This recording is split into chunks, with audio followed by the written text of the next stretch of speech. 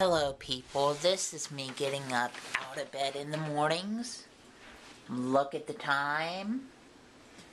7:25 in the morning.